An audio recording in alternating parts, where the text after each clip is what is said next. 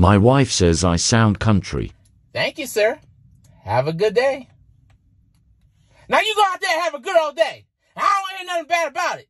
If you see all right by the Piggly Wiggly, you tell him old Willie said, hey, all right then now.